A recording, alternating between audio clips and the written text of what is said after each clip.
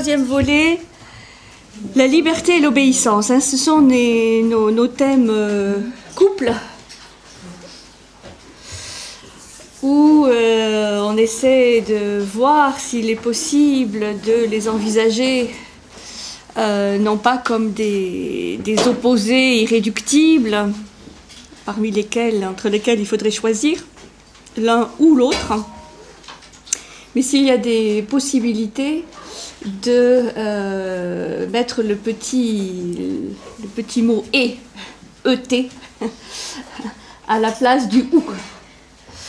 Euh, ce qui est souvent plus difficile euh, parce que ça exige une certaine comment dire tension la fameuse tension des contradictoires ou des opposés mais c'est quand même euh, la voie philosophique par excellence que de ne pas s'enfermer dans des choix exclusifs, mais d'essayer de, tenir, hein, comme le, fameux cocher de Platon, euh, avec des chevaux qui tirent euh, pas dans le même sens, parce que ça serait vraiment trop facile. Euh, mais dans des sens opposés. Alors, par rapport à ce sujet euh, liberté-obéissance, euh, choisi, parce que c'est toujours des sujets énormes, hein. donc mon objectif c'est de donner quelques pistes de, de réflexion. on va commencer par deux, deux extrêmes, deux visions extrêmes. Euh, l'une, ce sera le, déterminisme causal, qu'on voit euh, surtout dans euh, le paradigme scientifique, qui exclut la notion de liberté, avec cette notion davantage de nécessité. Hmm, on va voir, déterminisme, nécessité. Une autre voie extrême qui est celle du libre arbitre absolu. Euh, et on va voir un petit peu euh, à quoi cette vision euh, amène également, si elle est satisfaisante ou si elle pose d'autres questions. Et ensuite, une fois posées ces deux, ces deux positions extrêmes, on verra ce que les philosophes, notamment des Lumières, ont pensé de ce sujet euh, à partir d'une vision qui est pour moi un peu une vision euh, fondatrice sur le sujet, qui est la, vision stoïcienne. Alors on l'a déjà vu à, plusieurs reprises, on va la, revoir un petit peu pour bien comprendre ce que les stoïciens entendaient par liberté, par obéissance, parce qu'il y a parfois des, des raccourcis et à partir de cette euh, notion stoïcienne, on verra ce qu'un Descartes, euh, un Kant, un Spinoza, euh, et puis plus proche de nous, un Bergson, un Husserl, ont pu penser sur le sujet. alors il y avait quelque chose qui évidemment me tenait bien à cœur, mais là je ne pense pas qu'on aura la possibilité euh, dans le temps imparti de le traiter, c'est toute la vision euh, orientale euh, sur laquelle on a déjà parlé, mais qui apporte des, éléments vraiment, vraiment intéressants et complémentaires de la vision occidentale, notamment la vision chinoise.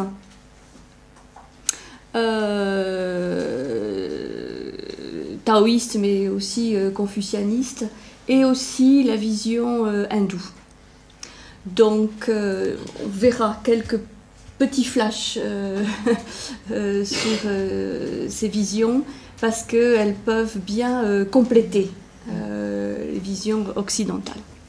Bon, voilà le programme. Et comme ça, à midi, midi 15, vous saurez si vous êtes libre ou pas de partir, de venir. Alors, le déterminisme causal. Le déterminisme causal, euh, qui est un peu l'expression de la nécessité. C'est un sujet sur lequel on reviendra, euh, on reviendra euh, lors des conférences sur Darwin, sur les, thèmes de, l'évolution, parce que c'est un, paradigme, comme on dit. c'est un paradigme scientifique, celui du déterminisme causal, qui est aujourd'hui beaucoup battu en brèche, hein, puisqu'il y a beaucoup d'éléments scientifiques, d'expériences et de découvertes qui remettent en cause ce paradigme tel qu'il était euh, formalisé au, XVIIe, XVIIIe siècle, et euh, toute la problématique de l'évolution, l'évolution des espèces, mais aussi l'évolution de l'homme, euh, est une application justement vraiment très intéressante de ce nouveau paradigme qui est en train de voir le jour, qu'on appelle parfois postmoderne, hmm. euh, puisque celui de la modernité, ben, c'était celui dont on va parler là, celui du déterminisme, euh, qui est le, paradigme dominant, notamment à partir de Descartes. Hmm. Euh, donc du, XVIIe au, XIXe siècle, beaucoup de disciplines scientifiques ont pensé hein, dans le cadre de ce paradigme qu'on appelle en général mécaniste, paradigme mécaniste, ou euh, avec cette notion de déterminisme causal, selon lequel euh, l'univers est entièrement déterminé. Une notion de détermination, de déterminisme. Donc, Qu'est-ce que cela veut dire? Cela veut dire que les, nuages euh, ne se promènent pas librement euh, dans le ciel, que les animaux ne se comportent pas librement, hein, mais que tout cela, notamment les règnes végétaux, animaux, suivent, suivent des lois de la nature que leur commandent les instincts. C'est-à-dire qu'ils n'ont pas liberté hmm, euh, ni de mouvement, ni euh, d'action, ni a fortiori euh, évidemment de jugement, qui est là quand même une spécificité humaine. Donc ce qu'on va penser au niveau scientifique, mais voir que c'est tout un ensemble, hein, les paradigmes scientifiques, mais aussi les visions philosophiques. Hmm, tout ça est un ensemble hein, qui constitue une vision à un moment donné dominante. Selon ce paradigme euh, de détermination, de déterminisme, les événements qui arrivent répondent à une causalité. Hmm. Et donc on dit que si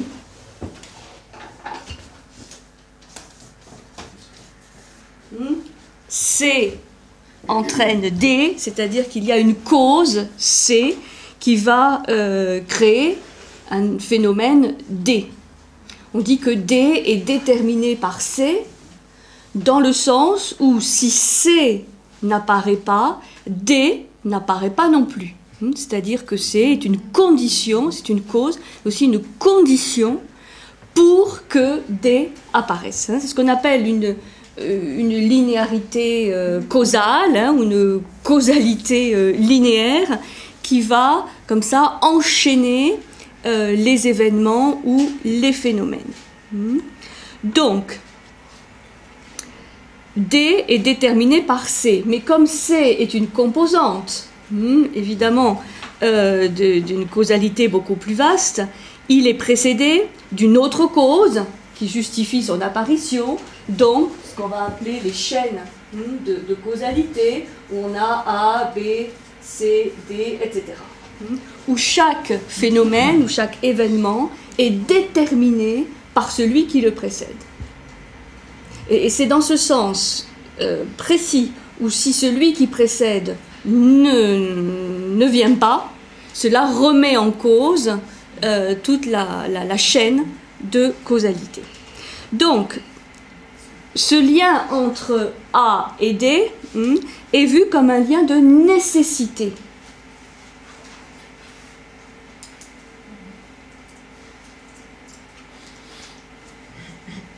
D'où la fameuse question, hein, euh, hasard ou nécessité. hein, qui, est, au cœur du, sujet aujourd'hui de, toutes les réflexions sur l'évolution. Hmm. C'est un lien de, nécessité, comme ils le disent, l'enchaînement implacable d'une série de causes. Hmm? Une série qui suit un temps linéaire rigoureux, hmm? donc on est dans une perspective d'un temps euh, linéaire, et sans cassure.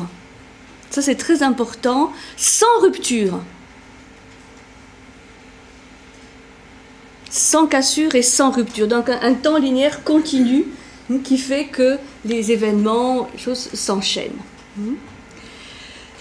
Donc croire qu'il existe de tels liens de nécessité, c'est professer la doctrine qu'on appelle le déterminisme causal. Hmm. Donc, selon cette vision, tous les événements de la nature, dans lesquels là on peut inclure euh, l'humain, hmm, sont soumis à une nécessité rigoureuse et invariable, de telle manière que si nous connaissions les, mécanismes ou les lois de la nature qui nous font passer par exemple de A à B, B à C, nous pourrions non seulement comprendre le, passé, mais aussi prévoir le futur, prévoir l'avenir, puisque ce sont les mêmes euh, enchaînements, les mêmes causes, les mêmes processus qui euh, sont à l'œuvre dans le passé, le présent, le futur. Hmm. C'était par exemple le rêve d'un Laplace hmm, que de pouvoir euh, préfigurer, anticiper, prévoir ce qui allait arriver. Puisque ces lois de la nature euh, expliquent à un moment donné où sont, placés les éléments dans cette grande chaîne linéaire de causalité. J'insiste sur cette vision qui, est connue, mais parce que nous sommes encore et je, reviens sur les, théories de, l'évolution, nous sommes encore euh, très tributaires de, euh, de ce schéma, même si euh, depuis le 19e et 20e, ce déterminisme causal est, remis en cause, mais vous savez qu'il y a toujours un retard, hein, une inertie dans les, mentalités collectives qui fait que même si on sait aujourd'hui ça ne se passe pas exactement comme cela, dans beaucoup de domaines, on continue à raisonner comme si. Hmm? Et l'exemple de, l'homme hmm, qui descend du singe, hmm, avec ce singe qui se relève euh, petit à petit, hein, qui était dans tout le manuel scolaire, qui commence à, être un peu remplacé aujourd'hui, est, un, euh, exemple. Euh, quelque part de, cette vision, d'où cette énorme question qui a beaucoup perturbé intéressé les scientifiques, beaucoup moins aujourd'hui, qui est celle du fameux chaînon manquant. Puisque c'est vrai que dans cette causalité linéaire, s'il manque un chaînon, c'est gênant. Et donc on va à tout prix euh, faire des fouilles pour trouver justement le chaînon manquant parce que c'est lui qui euh, disons, peut remettre en cause, hein, si on ne le trouve pas, euh, cette chaîne de causalité. Bon, aujourd'hui, on sait que ce, système est, un petit peu euh, irréaliste et qu'il n'est plus nécessaire de chercher le chaînon manquant parce que probablement ce chaînon manquant n'existe pas.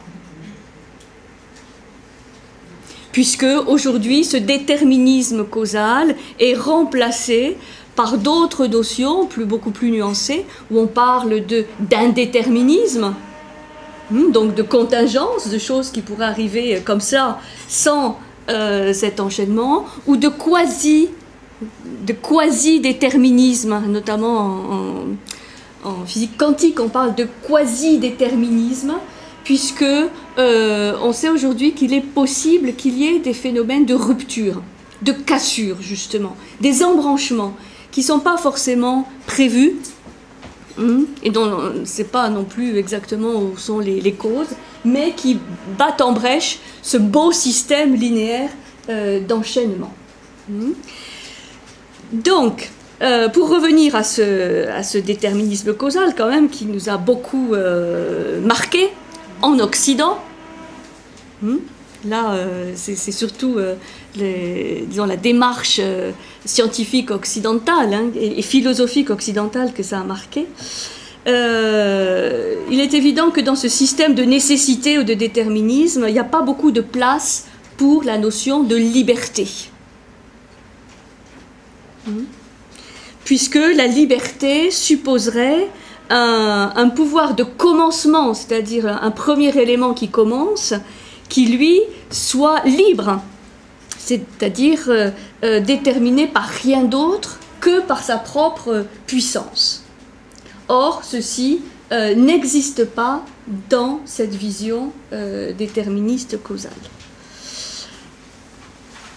Alors, c'est là où justement les philosophes vont intervenir, parce que euh, si on peut se satisfaire de ce schéma pour les végétaux et pour les animaux, il pose problème pour l'homme, puisque euh, l'homme a quand même ce sentiment, au moins ce rêve, de pouvoir se déterminer par lui-même, donc d'avoir une once de, liberté. Et donc, pourquoi l'homme serait-il euh, une espèce particulière ou privilégiée ou qui fasse un peu l'exception dans, euh, ce schéma? Pourquoi ces lois de la nature, ces lois nécessaires de la nature, s'appliqueraient à toute la création, sauf à l'homme? Donc ça pose euh, une bonne question de quelle est de ce point de vue, quelle serait la spécificité humaine. Hmm. Alors, simplement pour ouvrir euh, la, la, réflexion aussi par rapport à ce déterminisme scientifique, aujourd'hui, quand on parle d'indéterminisme ou de contingence ou de fracture, de cassure, de, de saut, hmm, la fameuse euh, saut quantique ou saut dans l'évolution, etc. Euh, ceci remet en cause aussi, bien sûr, ces, cycles, ces chaînes de causalité linéaire pour avoir, hein, ce que vous avez déjà expliqué, les, les boucles. Hmm, ceci est remplacé par les boucles de, causalité où il y a ce qu'on appelle en, anglais les fameux feedback, hmm, c'est-à-dire retour, qui font que A, évidemment, euh, hmm, influe sur B, mais que simultanément, simultanément, c'est ça aussi très important par rapport à la dimension du temps, simultanément, B influe sur A. Et donc il n'est plus possible de penser ces chaînes linéaire de, causalité, mais que ce sont maintenant des boucles. Hein. Et ce qui est évidemment beaucoup plus euh, complexe, puisque si A influe B que dans le même temps B influe A, alors quel est ce A hmm? Donc ça nous fait rentrer dans une autre dimension du temps, qui n'est pas un temps linéaire, euh, qui n'est pas un temps euh, chronologique, mais qui fait beaucoup plus référence à ce temps, euh, ce temps presque mythique, hmm, qui ne s'écoule pas, et où il y a pourtant la notion de, durée. Hmm. C'est un, autre temps. C'est un temps fluctuant. Fluctuant, oui, et, évidemment beaucoup plus complexe, qui introduit la notion de synchronicité et de simultanéité. Ce qui, pour nous, pour notre, euh, disons, nos facultés mentales, euh, est très, très, très, très, très euh, complexe, difficile à, saisir. sauf à être un cerveau, un hémisphère droit pur, et à être dans, dans la, simultanéité complète, mais c'est. Et encore, il faudrait quand même aussi un petit peu du gauche pour.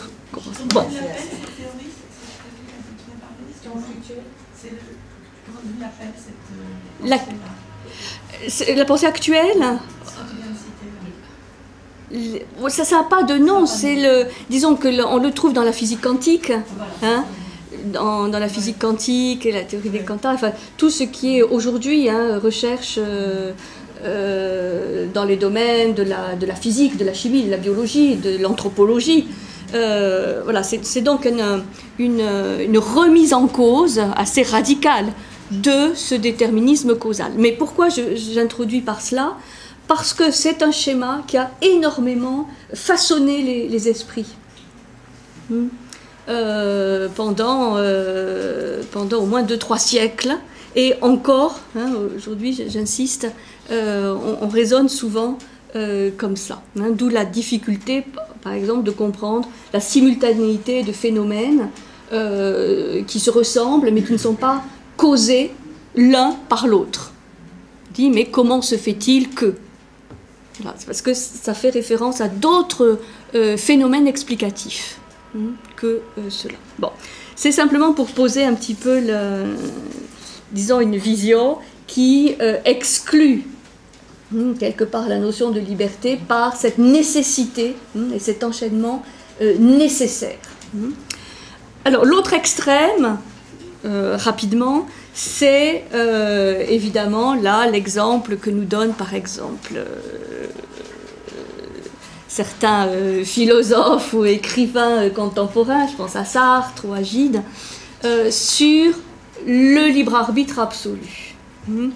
l'acte gratuit, le, libre arbitre total, c'est-à-dire je peux faire ce que je veux, rien ne me détermine, hmm. je suis libre, hein, qui est évidemment Euh, l'opposé hein, de ce déterminisme causal et qui a eu un certain succès en XXe siècle hein, dans ce qu'on appelle la philosophie euh, existentialiste, hein, euh, où il y a cette idée que l'homme est libre. Alors on va essayer de voir un petit peu qu'est-ce que ça a comme conséquence.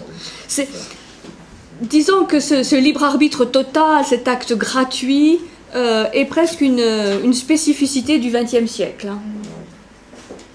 Je ne sais pas si on le retrouvera au XXIe, mais euh, on le trouve guère avant.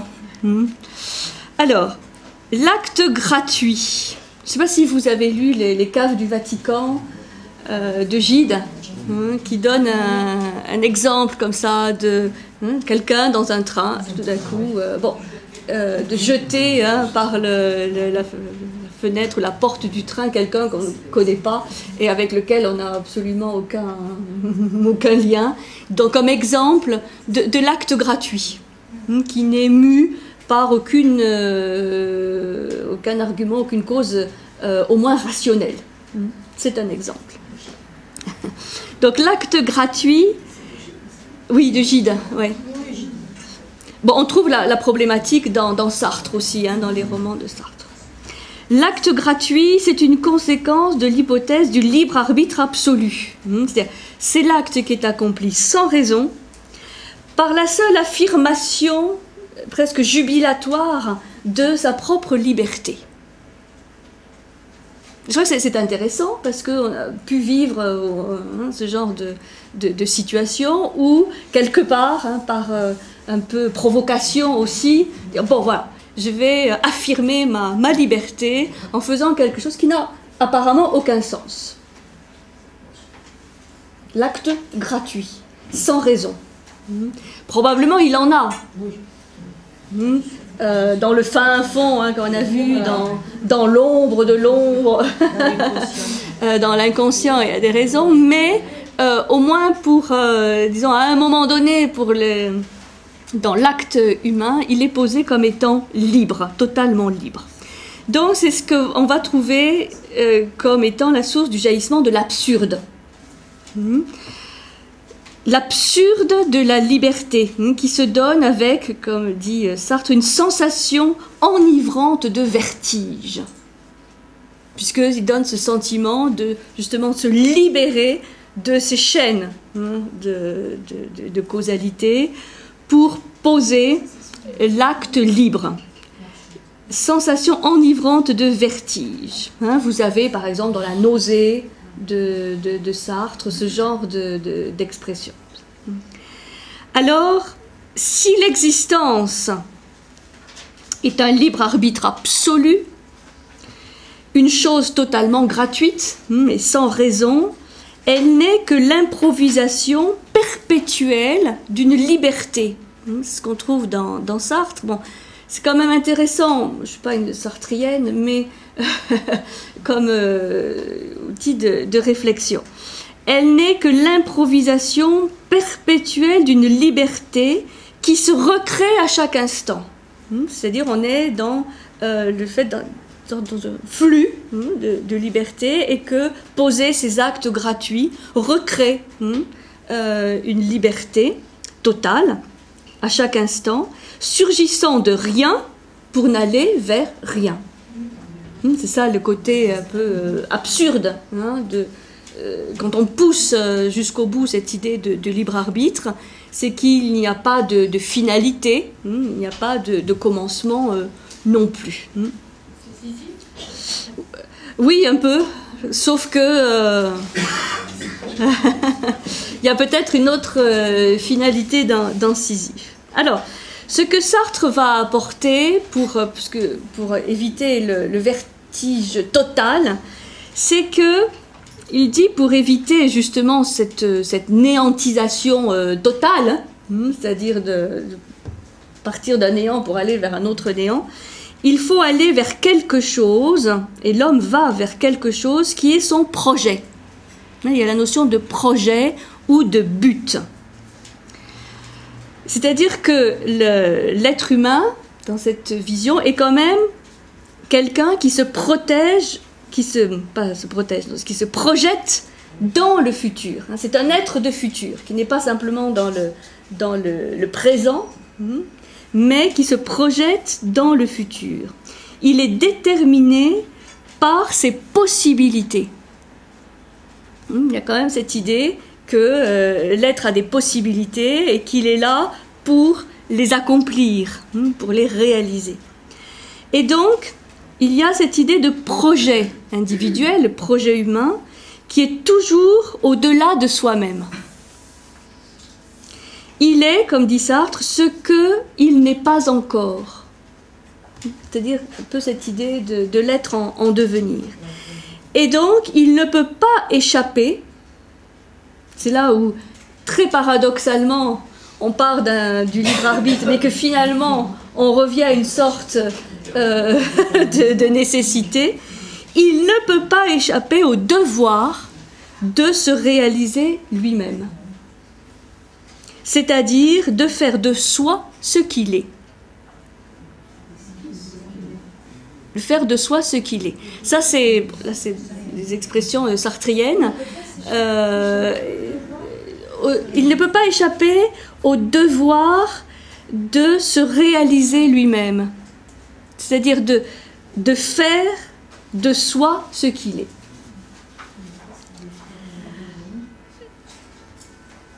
Donc il y a cette notion de projet qui vient quand même euh, largement euh, réduire, compenser cette notion de, liberté dont on voit qu'en fait, elle n'est pas tenable. Disons, dans sa, son absolu et sa, son côté extrême, euh, dans cette idée de, néantisation, hein, dit Sartre, euh, absolue et totale, n'est pas tenable. Ou alors c'est le suicide. Disons, ce n'est pas possible de, tenir cette, cette, hypothèse, hein, d'une liberté, d'une contingence euh, totale. Hmm.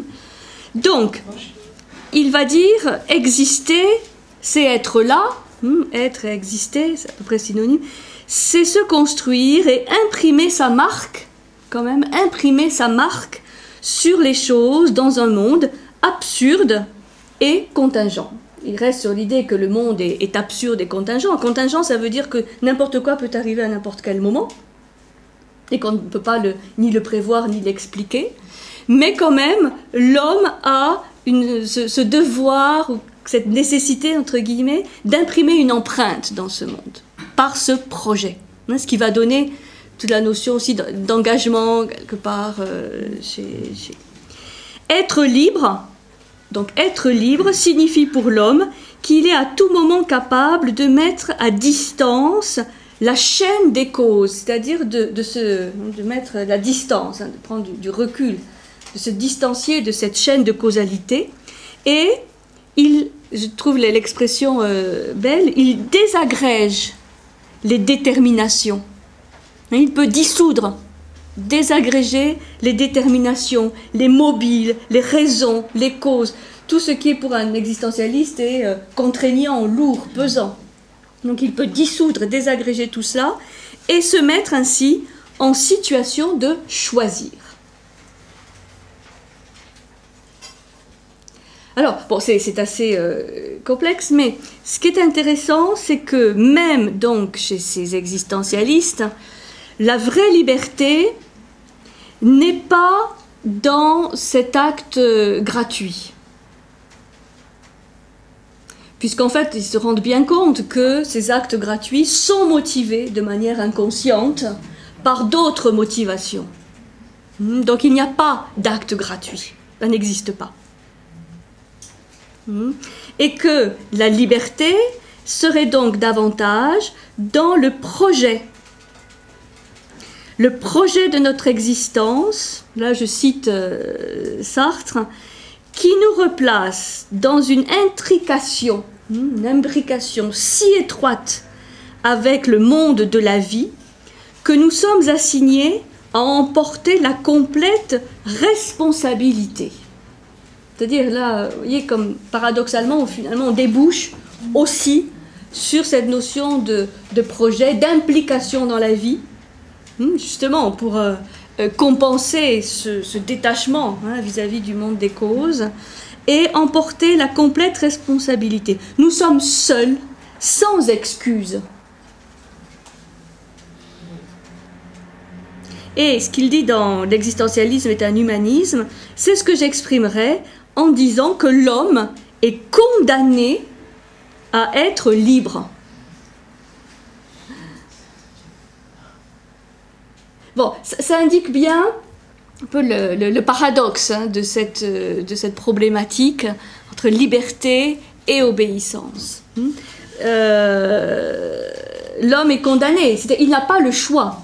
Il est nécessaire pour lui d'exprimer sa liberté avec cette idée de projet, donc d'avoir quand même une vision du futur et d'implication dans le monde et de responsabilité. Hmm? bon. Donc, je trouvais intéressant simplement euh, de, situer ceci euh, pour voir que euh, on est presque comme dans une, là aussi dans une, dans une boucle, que si on veut penser la liberté, le libre arbitre total, de toute façon, on revient à cette notion quelque part de nécessité. Donc ce qui laisse le problème entier. entier. Insoluble, je ne sais pas, mais entier. bon, voilà, c'est une petite, euh, une petite introduction sur le sujet, hein, pour euh, donner quelques, quelques repères. Alors, voyons maintenant nos chers euh, philosophes, hein, qu'est-ce qu'ils vont nous donner comme piste comme piste de réflexion pour voir quand même euh, comment ça se passe dans l'homme. Et je commencerai par euh, le fameux concept de liberté chez les stoïciens. Puisque beaucoup de philosophes des Lumières se sont euh, référés à la notion stoïcienne pour euh, se positionner. D'accord, pas d'accord, euh, insuffisant, mais ça a été quand même une, un, point de repère euh, vraiment important. Et c'est vrai que les stoïciens, c'est presque mille ans, hmm, entre les fondements grecs et ensuite les, grands, les grands philosophes stoïciens, hein, comme Épictète. Sénèque, Marc Aurèle, euh, Cicéron un peu. Euh, donc ça a fortement euh, marqué l'éthique occidentale. Alors, cette liberté stoïcienne, c'est la fameuse distinction extrêmement lapidaire mais très puissante faite par Épictète, distinction entre les choses qui dépendent de nous et les choses qui ne dépendent pas de nous. Hmm Manuel Épithète, il y a deux lignes, disent bon, hein, euh, il faut savoir que il y a des choses qui sont en notre pouvoir et il y a des choses qui ne sont pas en notre pouvoir. Donc il y a celles qui dépendent de nous, celles qui ne dépendent pas de nous. Et ça semble être une distinction vraiment euh, facile et voire simpliste. Et en fait, euh, ça a énormément euh, marqué et ça a servi énormément de, support de réflexion. Puisque dans la vision stoïcienne, cette distinction entre ce qui relève de nous et ce qui n'en relève pas est posée dans un cadre d'un cosmos où les différentes parties sont solidaires et reliées les unes aux autres. Hein. je ne reviens pas sur la, physique stoïcienne, mais c'est le cosmos, un grand tout, hmm, dont les différentes parties, comme les organes d'un corps humain, sont reliées entre elles et sont reliées au tout. Hmm. Donc c'est dans ce schéma, dans cette vision euh, du monde, que euh, les stoïciens posent ce principe de distinction. Hmm? C'est important. Il y a une solidarité, il y a une sympathie entre les différents composants du cosmos. Hmm? Donc, ils sont reliés entre eux. Tout est relié. Hmm? C'est une vision assez, euh, assez immanente, il n'y a pas de Dieu transcendant. Hein. Les lois de la nature sont à l'intérieur du cosmos, elles, permettent de comprendre comment il fonctionne, et c'est surtout cette notion de solidarité, de, de relation Hein, c'est déjà la complexité, quelque part, euh, postmoderne. Hmm. Alors, dans ce cadre-là, que peut faire l'homme? Eh bien, l'être humain peut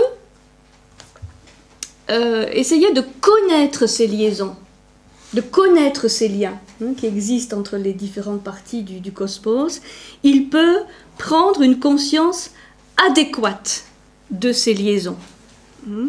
Il peut en prévoir aussi les développements. C'est-à-dire, ça, c'est un choix, c'est une possibilité qu'a l'homme de, euh, d'essayer de comprendre ce système. Lui-même est inclus dedans. Hmm. Donc, il peut essayer de vraiment faire un, effort de discernement, de jugement, de connaissance, pour comprendre de l'intérieur comment ce système fonctionne. Et pour les stoïciens, c'est clair. L'homme est, libre parce qu'il a le choix entre deux attitudes. L'une de passivité et d'ignorance, c'est-à-dire de subir, hmm, de subir euh, tous ces, liens entre les, composants et, s'il ne les comprend pas à ce moment-là, euh, effectivement, euh, il est dans une attitude passive.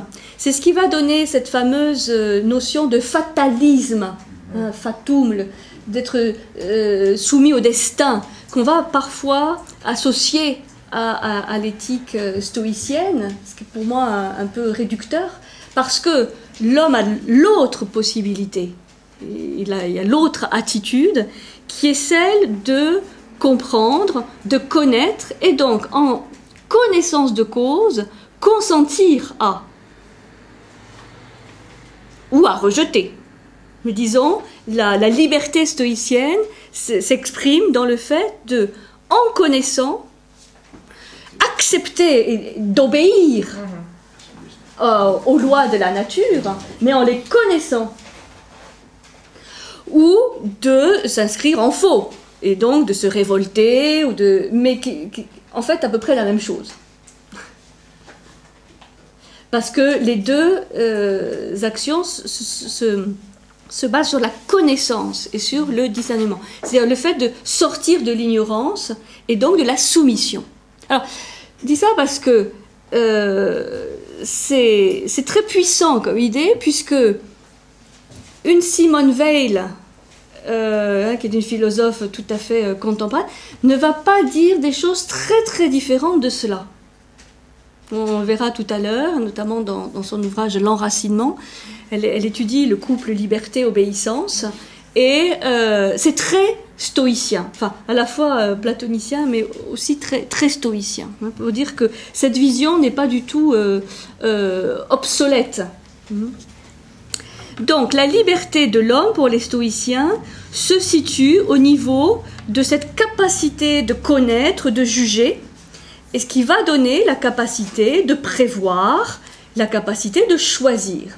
Donc il, est faux de dire que le, stoïcien subit son destin, ou est soumis à son destin, ou est soumis ou subit l'univers.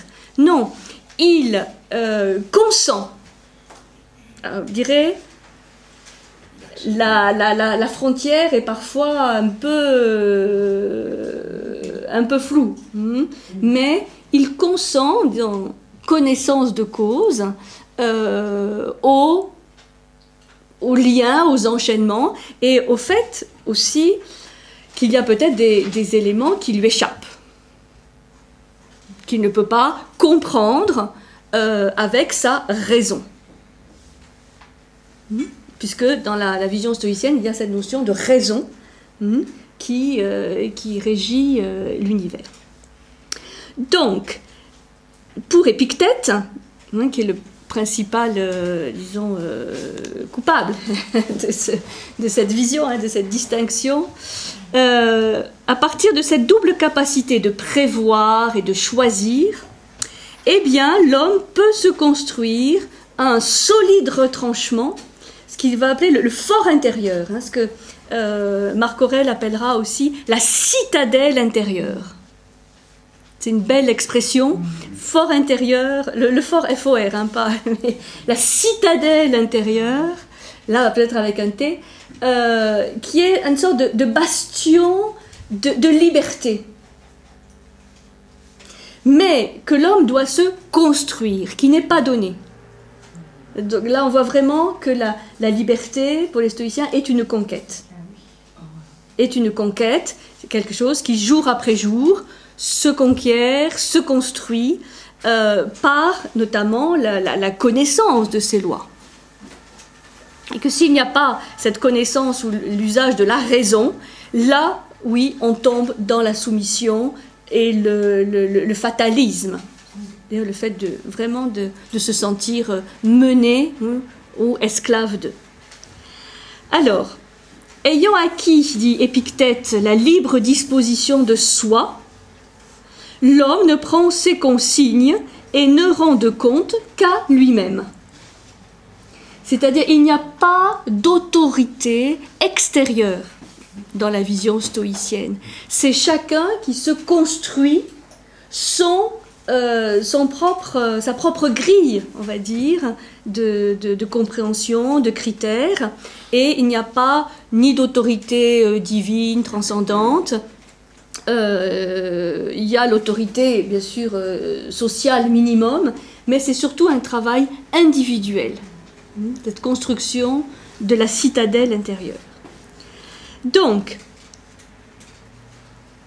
pour les stoïciens, la liberté intègre, vraiment intègre la notion de nécessité ou de détermination les stoïciens ne nient pas cette notion d'enchaînement, hmm, de, cause et d'effet ou de détermination, mais il y a un élément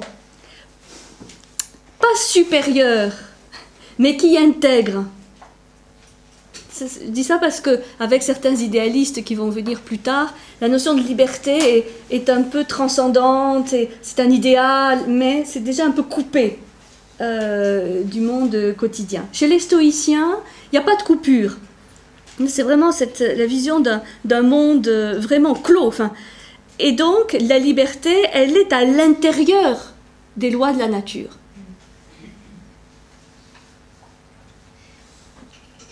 Je trouve cette, vision intéressante parce qu'elle n'est pas, du, n'est pas dualiste, justement. Il n'y a pas d'un côté un idéal transcendant de liberté et puis euh, ce qu'on connaît tous les jours, c'est-à-dire de l'esclavage.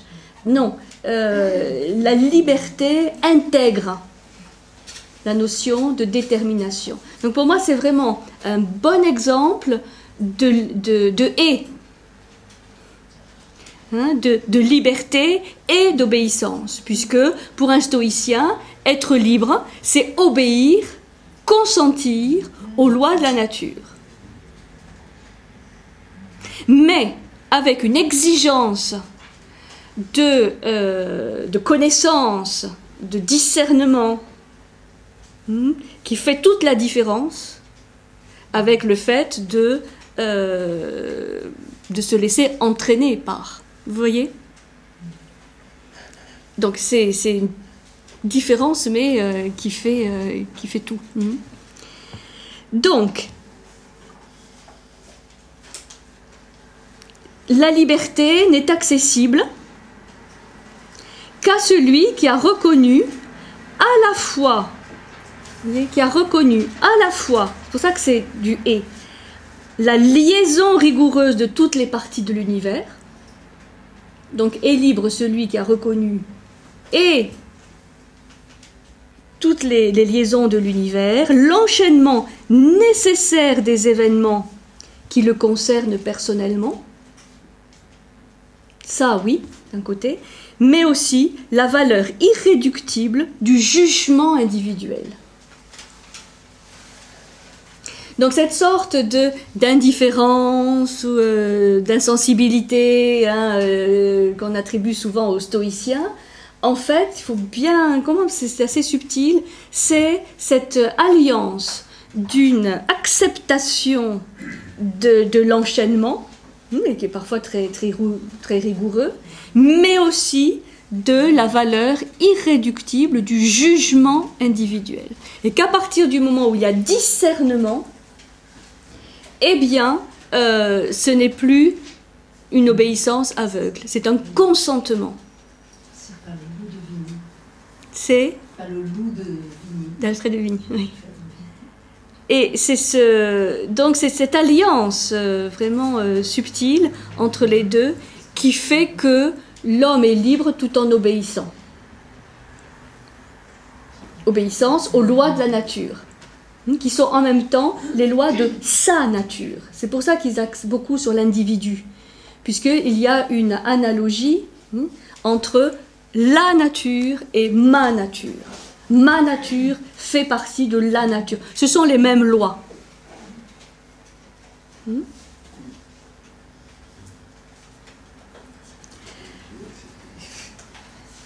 C'est pourquoi la liberté, c'est-à-dire euh, pour les stoïciens la capacité de décider et de commander, sans avoir à rendre compte à une instance supérieure, ne réside pas dans la domination, hmm, euh, mais dans la sagesse, c'est-à-dire dans la distinction de ce qu'il faut faire ou ne pas faire à un moment donné. Hmm. Donc, Bon, ça c'est la, base de la pensée euh, d'Épictète, de la pensée euh, stoïcienne, qui évidemment s'est enrichie de beaucoup d'éléments au, fil des, siècles, mais euh, c'est ce qui nous permet de comprendre pourquoi ils sont arrivés à cette notion, les, notamment les stoïciens romains, à la notion de constance, d'être constant, hein, qui est pour eux un exemple de l'homme sage l'homme sage et l'homme constant. Alors, une petite, euh, petite citation d'Épictète. Je suis libre. Bon, vous savez qu'Épictète, c'était quand même l'ancien esclave, hein, affranchi, donc il, sait de quoi il parle. Je suis libre et ami des dieux afin de leur obéir volontairement et de bon gré. Je suis libre et ami des dieux afin de leur obéir volontairement et de bon gré. Et il, me faut ne m'incliner devant personne, ni ne céder à aucun événement. Ça donne aussi euh, cette, cette, force stoïcienne de ne reconnaître euh, aucun maître que soi-même ou les dieux. Hmm?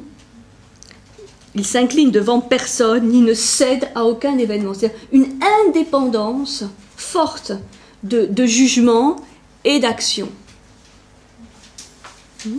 C'est là où on comprend euh, quel, rôle ils ont pu jouer euh, dans, euh, la, philosophie, dans l'éthique, mais aussi dans, dans la vie hein, politique et sociale de l'époque. Donc les, dieux, quand il dit je suis ami des dieux, ne sont pas des dieux personnels. Les dieux stoïciens, ce sont les lois de la nature, hein, de cette euh, nature-providence, hein, et qui est en opposition parfois aux lois euh, humaines de la, société sur lesquelles il faut être très euh, prudent et vigilant, puisqu'elles ne sont pas toujours à l'image de l'intelligence de la nature. Donc obéir aux lois de la nature, c'est être libre, puisqu'elle ne nous commande que ce qui est conforme à la nature et à notre nature d'homme. Donc là, il n'y a pas hein, d'opposition entre ma nature et la nature. C'est ce qui va donner aussi cette notion donc de constance, j'ai dit, mais aussi cette fameuse ataraxie, hein, c'est-à-dire absence, absence de crainte, absence d'angoisse, hein, absence euh, d'inquiétude, puisque on est dans la tranquillité de l'âme, comme dit euh, Sénèque à partir du moment où on a la conscience d'obéir à sa nature et à la nature. Donc d'être un canal. Et c'est ça qui donne la tranquillité de l'âme. Quels que soient euh, les, résultats, quels que soient les affres, les souffrances, les contradictions euh, du monde, euh, il y a cette idée très très forte chez les stoïciens et qui les tiennent debout, c'est le fait d'être canal des lois de la nature. Avec toute la, parfois la, complexité de ces lois, qui peuvent être ambivalentes. C'est-à-dire là, vraiment, euh, au-delà des catégories morales de bien et de mal. C'est pour ça qu'ils ne s'affligent pas quand il leur arrive quelque chose de, de, dur, de difficile, mais qu'ils n'exultent pas non plus euh, quand euh, ce sont des choses plutôt euh, joyeuses. Hein, ce, qui, va leur donner cette réputation un peu de triste cire, mais qui n'est pas, du tout, tout justifiée, je pense, puisque c'est de la joie profonde et ce n'est pas de l'indifférence, ce n'est pas de l'insensibilité, c'est euh, le fait d'être euh, équanime, d'être tranquille. Donc de se sentir légitime.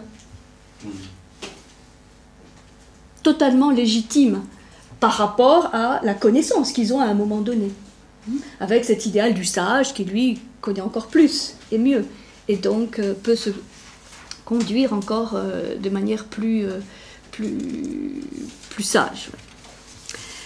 Donc l'obéissance, euh, alors ça c'est Marc Aurèle qui dit que l'obéissance est à la fois la condition de notre affranchissement et la réalisation de notre accomplissement.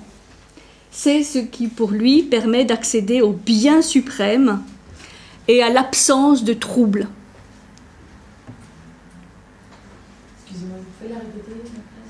L'obéissance, est à la fois la condition de notre affranchissement et la réalisation de notre accomplissement. C'est-à-dire que la euh, liberté, c'est l'accomplissement. Alors c'est subtil parce que c'est pas la même notion que la, notion de libération, par exemple, qu'on va trouver en, Orient. Hmm c'est toujours à l'intérieur de ce monde de s'accomplir et de s'affranchir des contraintes euh, inutiles. Hein. Donc la condition de notre affranchissement et la réalisation de notre accomplissement. C'est l'obéissance qui permet d'accéder au bien suprême. Donc cela veut dire qu'il faut se soustraire peu à peu aux contraintes de l'extérieur les contraintes donc euh, de l'extérieur, les contraintes sociales, les contraintes euh, hein, qui viennent du, monde dans lequel on vit, et aussi ce qu'il appelle les contraintes intérieures, c'est-à-dire les passions qui asservissent l'individu. Donc il y a un double travail d'affranchissement euh, des contraintes, tant extérieures, hein, qui sont peut-être plus évidentes, que les contraintes intérieures, hein, les, passions, les pulsions, les instincts, etc., qui asservissent l'individu. Voilà, un petit rappel de ce qu'est la liberté euh, chez les stoïciens, où donc, vous voyez qu'elle a, elle a tout à fait sa place, la notion de liberté dans la vision stoïcienne.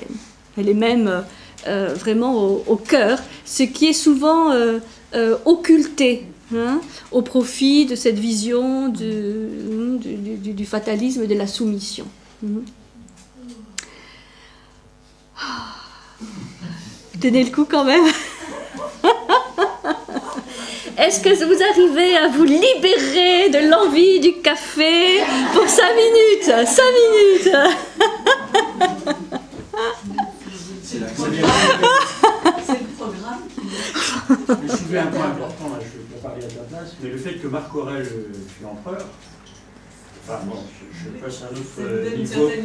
Ça donne, quand on lit la phrase l'obéissance est à la fois la condition de notre affranchissement, euh, je, veux dire, euh, pose un peu une question quand c'est dit par quelqu'un qui est. alors bon, dans sa condition d'homme, Je vais vous dire, Marc Aurèle. L'obéissance. Ouais. Quand, quand la phrase est prononcée par un empereur, peut. Alors je vais vous dire, cet empereur, c'était vraiment un, c'était un être extraordinaire qui ne rêvait que de paix et qui a été obligé de faire la guerre pratiquement euh, toute sa vie parce que l'empire était menacé euh, de toutes parts et donc ces, fameuses pensées, hein, il les écrivait le soir. Donc il ne faut pas du tout imaginer l'empereur. C'est l'empereur qui fait la guerre, qui, qui, ne dort pas pour pouvoir écrire ses pensées, pour aussi se donner du, courage. Et lui, il n'a qu'un rêve, c'est la paix.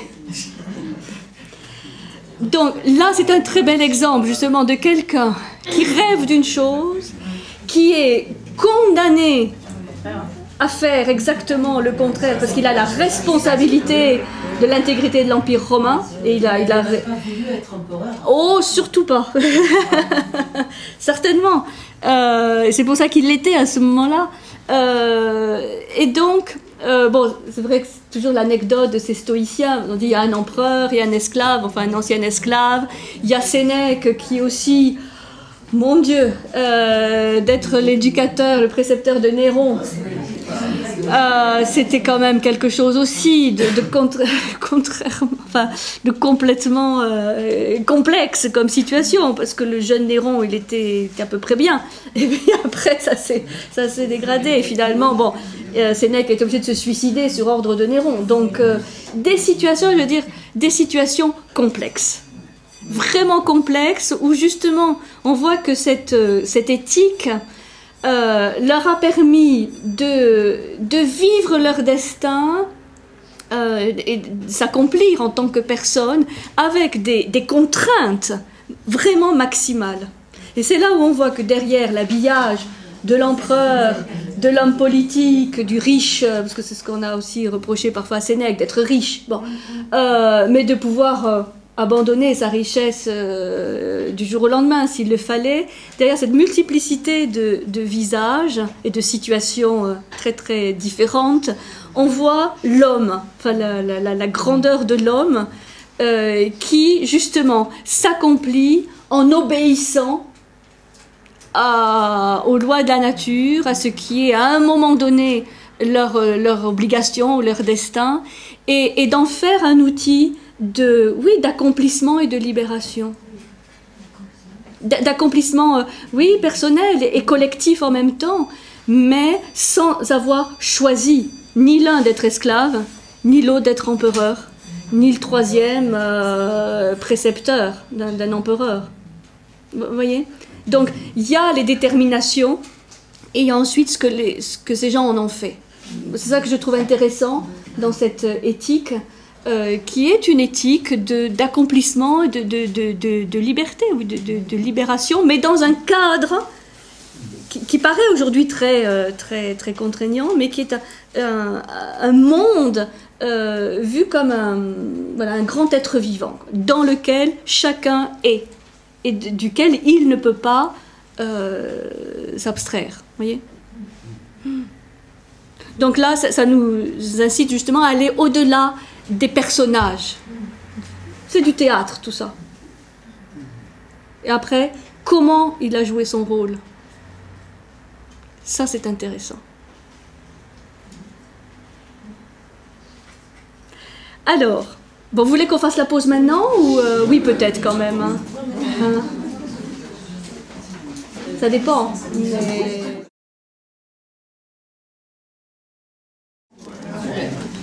Nous attaquons les philosophes plus proches de nous, dits des Lumières, hein, jusqu'à l'époque euh, plus contemporaine. Alors, celui que j'ai choisi en premier, pas au niveau euh, chronologique, mais parce que il me semble être le plus proche des stoïciens, euh, c'est Spinoza. Spinoza, ce cher Spinoza. C'est très aimé Spinoza. C'est curieux, il y en a qui sont euh, haïs, d'autres qui sont... euh, et on ne sait pas trop pourquoi. Euh, Spinoza. Alors bon, pour vous situer, puisqu'ils ne sont pas forcément dans l'ordre, 1632, 1677. Donc on est en plein 17e siècle. Il me semble être le plus proche des stoïciens. Lui, il dit que euh, la véritable liberté consiste dans la connaissance intuitive la connaissance intuitive de l'immuable et universelle nécessité. Ah ouais, euh, ah bon, euh, de toute façon, intuitive, la connaissance intuitive de l'immuable et universelle nécessité. Ah, pour les libertaires, hein S'abstenir. C'est dans la mesure où la raison, et ça c'est quelque chose qui va nous accompagner hein, tout le temps, c'est dans la mesure où la raison connaît. Donc il y, a- la raison, mais il y a aussi l'intuition chez Spinoza. hein, mais il y a- la mesure, c'est dans la mesure où la raison connaît qu'elle se libère des affects qu'elle se libère des affects qui la séparent de sa perfection. Alors, vous vous rappelez que chez Spinoza, c'est une notion, euh, il y a une notion de Dieu, mais du Dieu, euh, là aussi, nature, la nature, la nature. C'est pour ça que c'est très proche des stoïciens, quelque part. La nature naturante, la nature naturée, enfin, Dieu, comme la fameuse euh, expression, hein, Dieu soit la nature, c'est-à-dire la nature, hein, c'est synonyme. Hmm? La nature, natura, hein, Deus sive natura, c'est-à-dire Dieu, ou bien on peut l'appeler la nature. Donc, pour devenir véritablement libre, selon Spinoza, l'homme doit reconnaître que tout est nécessairement fondé en Dieu. Donc vous, traduisez Dieu, nature. Mhm. Et toujours cette expression paradoxale, suivre de son plein gré le cours du monde déterminé par Dieu. Suivre de son plein gré le cours du monde déterminé par Dieu. Et c'est là où, c'est vrai, il y a la question, non, mais alors de toute façon, euh, peut-on suivre de son plein gré? Enfin, Et c'est là où je réponds, c'est c'est subtil, c'est acrobatique, c'est le fil hein, du funambule. C'est pour ça que euh, les stoïciens, mais Spinoza aussi, essaient de, de dire c'est l'attention, c'est la vigilance, c'est la conscience de qui fait que on peut effectivement suivre de son plein gré le cours du monde qui est déterminé.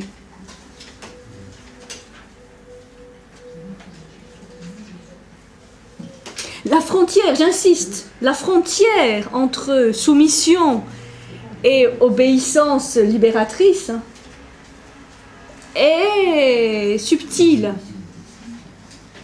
Mais justement, je trouve intéressant de se le poser comme question. Suis-je dans le consentement euh, de plein gré euh, euh, ou dans la soumission hmm? Donc, la connaissance vraie est celle de Dieu comprise comme nature. Hmm? Bon, quelques éléments sur, sur Spinoza, où, bon, il y aura évidemment beaucoup d'autres choses à dire, mais pour Spinoza, la joie, la joie est justement l'expression de cette liberté, de celui qui euh, suit de son plein gré le cours du monde, qu'il sait nécessaire.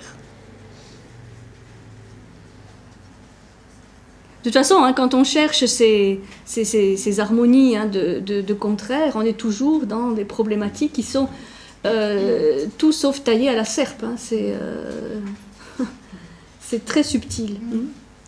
Alors, une réaction plus, plus, plus simple, hein, entre guillemets, sera celle de Pascal.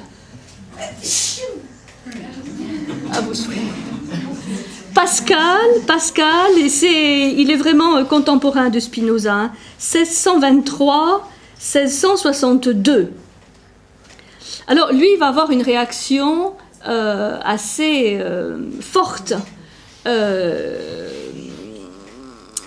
tout en reconnaissant le bien fondé de la, vision stoïcienne, il va la combattre. Pourquoi? Il dit que l'obéissance stoïcienne a quelque chose d'ambigu, puisqu'elle nous constitue en individus parfaitement suffisants. Alors là, on est dans euh, ce qui va faire l'opposition entre cette vision euh, stoïcienne, païenne, on va dire, et la vision chrétienne.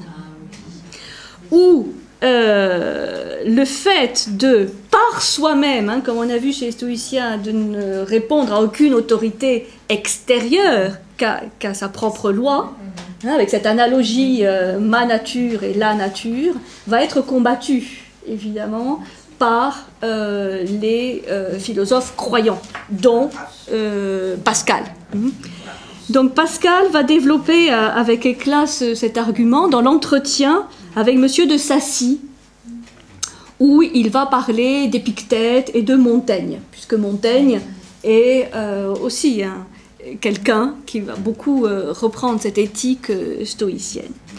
Alors, Pascal il reconnaît à Épictète d'être un des philosophes du monde qui a le mieux connu les devoirs de l'homme. Donc il, euh, exprime toute sa gratitude et sa reconnaissance hein, vis-à-vis d'Épictète, mais il le reproche d'avoir enseigné que nous pouvons, par nos propres forces, à pouvoir atteindre au souverain bien.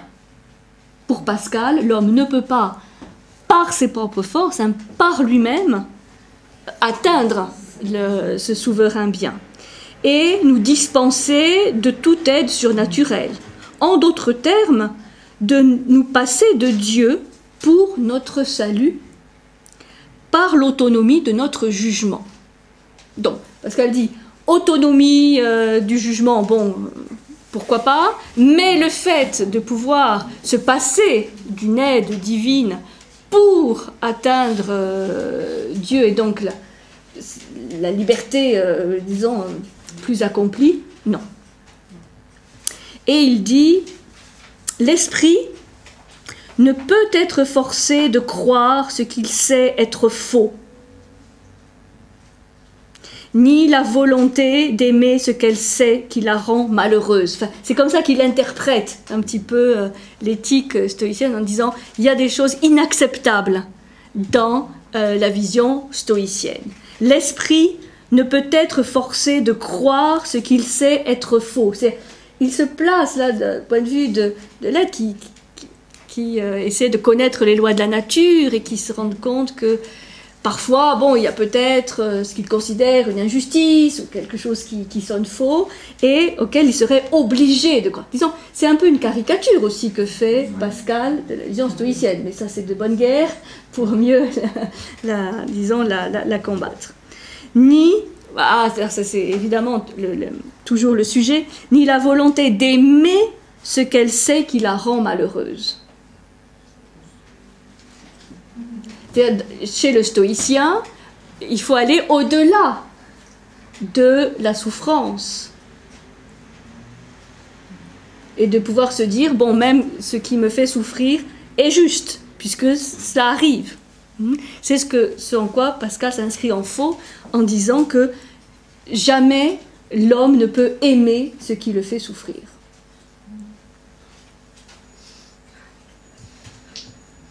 Alors que pour les stoïciens, il y a, euh, disons, un point de vue euh, qui englobe, je ne veux pas employer ce terme de supérieur, mais qui englobe la joie et la souffrance. C'est le fait d'être dans la loi de la nature. Ce que va reprendre d'une certaine manière aussi, tout à l'heure, Kant. Hmm? Bon, donc pour Pascal, c'est bien la vision stoïcienne, mais ça manque du Dieu sauveur, pour le dire extrêmement euh, euh, lapidaire. Alors, notre cher Descartes, le pauvre à qui on a fait dire euh, tout et n'importe quoi. Descartes. Là, on revient un peu en arrière, puisque Descartes, c'est celui qui ouvre hein, la, philosophie moderne, 1596, 1650. Donc là, on est vraiment euh, la première moitié du XVIIe. Où lui, il va, de manière très positive, affirmer la liberté de l'esprit. Pour Descartes, l'esprit est libre, donc il y a une liberté fondamentale dans l'esprit. Vous voyez, c'est un peu paradoxal, puisque c'est à partir de lui que va se développer ce fameux déterminisme hein, causal dont on a parlé au début. Et pour Descartes, il est une évidence incontestable. Il est évident que nous avons une volonté libre qui peut donner son consentement ou ne pas le donner, quand bon lui semble. Et que cela peut être compté comme une de nos plus communes notions. La liberté, c'est notre euh, richesse, disons, la plus fondamentale. La volonté s'appartient à elle-même, donc, volonté libre, ça c'est volonté et liberté. La volonté s'appartient à elle-même parce que la conscience s'appartient à elle-même. Bon, vous vous rappelez le fameux cogito, je pense, euh, donc je suis, donc je pense, je suis conscient d'eux, et donc là je suis. Et quand il dit je suis, c'est vraiment en, en tant qu'être libre. Et comme souvent on ne le dit pas chez Descartes, ce n'est pas simplement la raison, la raison intellectuelle ou raisonnante, c'est une raison, euh, disons, beaucoup plus, euh, euh, beaucoup plus vaste. Hmm. Une raison aussi métaphysique, enfin, hein, et, pas du tout strictement rationnelle, hein, avec ce, ce, sens un peu réduit hein, du terme rationnel, intellectuel, disons, aujourd'hui. Donc, la volonté, chez Descartes est en l'homme une puissance absolue. Nous ne pouvons pas tout comprendre, mais il est possible de tout vouloir. Là, c'est vraiment le, règne de la volonté. On ne peut pas tout comprendre, mais on peut tout vouloir. Alors, il va expliquer trois niveaux, trois stades différents hein, euh, de liberté. Le premier niveau, le plus, euh, le plus simple, c'est ce qu'il va appeler la liberté d'indifférence. La liberté d'indifférence, c'est le plus bas niveau de la liberté de, l'homme. Disons que entre euh, une solution A une solution B, on va incliner pour l'une ou pour l'autre sans qu'il y ait un enjeu majeur. Donc cette liberté d'indifférence, c'est ce qui nous fait choisir euh, une option plutôt que l'autre, mais euh, disons que il n'y a pas un, enjeu euh, existentiel ou métaphysique dans cette liberté d'indifférence. Ça fait partie, disons, des, choix quotidiens hein, entre plusieurs alternatives, où on est amené à, à, choisir, mais donc à exprimer notre liberté, mais sans trop non plus y, réfléchir. Plus haut se, situe la liberté rationnelle. Alors là, on monte largement d'un cran. Là, c'est la liberté donnée par la raison, qui consiste pour la volonté, toujours cette idée de volonté, de suivre les motifs que l'intelligence lui propose. Donc là, c'est une argumentation raisonnée, rationnelle, intelligente, donc euh, construite Hein, vous connaissez la, méthode de Descartes, c'est euh, on découpe un morceau, un, problème en autant de morceaux, on voit chaque morceau. Enfin, non, c'est ça la méthode, disons, euh, rationnelle cartésienne. Et donc là, c'est une liberté vraiment argumentée, de sorte qu'il y a un moment où, avec clarté, un choix s'impose comme meilleur que l'autre. Donc là, c'est pour des choix évidemment un peu plus profond, sérieux, hein, que les choix euh, de tout à l'heure. La volonté suit ce que l'entendement lui propose, l'intelligence. Donc, intelligence, volonté, liberté. Hein, pensée, intelligence, raison, liberté, euh, liberté rationnelle. La volonté est alors éclairée par l'intelligence. Et Descartes se, risque à dire, il y aurait même un troisième degré de liberté, la liberté absolue, qui serait pour nous prouver euh, qu'on est bien libre. Donc là, on, retombe un petit peu dans ce qu'on a vu tout à l'heure sur le, hein, le libre arbitre. La liberté absolue serait la capacité de se décider en dépit de toute détermination. C'est-à-dire même si tous les arguments rationnels, intelligents disent qu'il faut choisir A, on a quand même la liberté absolue de choisir B. Vous voyez, ça c'est intéressant parce que ça veut dire qu'il y a quelque chose au-delà de la raison.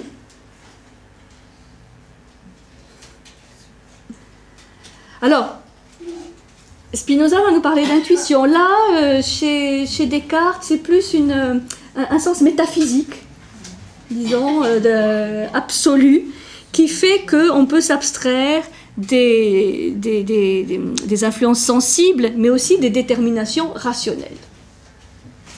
Bon, tout en restant dans un cadre hein, qui est quand même celui du XVIIe, qui est un cadre où il y a quand même la puissance divine Mhm, qui est euh, derrière. Mais donc, bon, liberté d'indifférence, liberté rationnelle, et puis, et puis éventuellement une liberté absolue, mais à laquelle il est très difficile pour euh, Descartes d'accéder. Mhm, c'est pour ça qu'il en parle relativement peu. Donc c'est une autre vision qu'apporte Descartes avec cette euh, association vouloir Hein, la toute-puissance du vouloir. Donc là aussi, ça, magnifie quand même la spécificité euh, humaine. Hein. Alors, nous arrivons à l'incontournable Kant,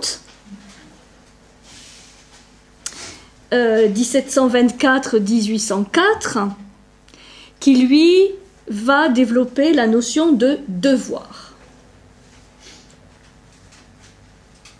Chacun va développer un peu une notion euh, particulière. Alors, le devoir. Kant est un idéaliste. Hmm, l'école allemande, euh, on va trouver beaucoup d'idéalistes.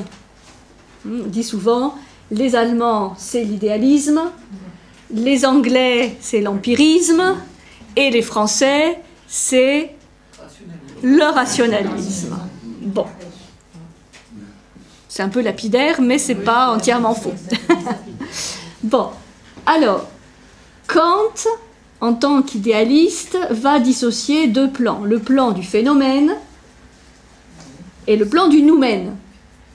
C'est quelque chose de, connu, ça. Hein. Noumen, le principe, et qui va, dans sa perspective, être un principe absolu, un peu transcendant, hein, ce qui euh, sert de référence. Le noumen, NOU,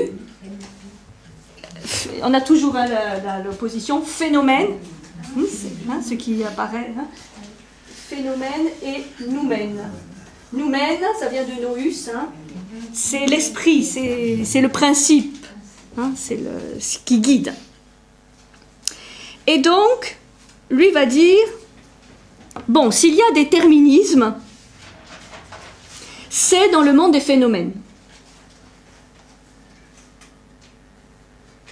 Mais dans le monde du noumen, donc dans le monde de l'esprit, il n'y a pas déterminisme.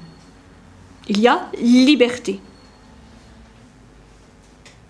Mais liberté soumise à un impératif qui est celui du devoir. Alors, vous direz, bon. Alors, c'est le devoir qui va libérer l'homme de sa détermination. C'est-à-dire, il est d'accord qu'au niveau, euh, niveau euh, physique, hein, niveau, il y a détermination. Par contre, en tant qu'idéaliste, hein, il va avoir un autre plan, qui est celui du, du noumen, de l'esprit, où là, on a le devoir qui libère. Le devoir remplace donc dans ce plan du noumen la nécessité naturelle par la nécessité d'une action accomplie par respect pour la loi morale. Donc le devoir, c'est le respect de la loi, l'obéissance à la loi. Donc,